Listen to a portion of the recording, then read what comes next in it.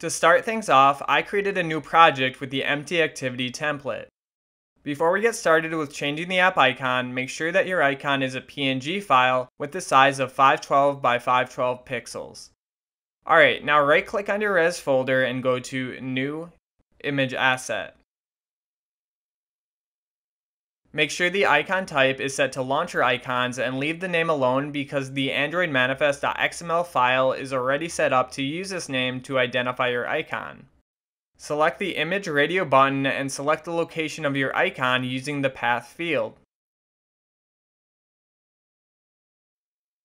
I'm going to leave the next four settings alone because I don't want to mess with the original look of my icon. What I am going to change is the shape. I'm going to set it to none to preserve the transparency of my icon.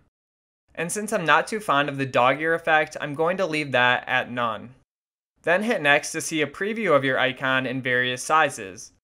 Once you are satisfied with your icon, hit finish to complete the process.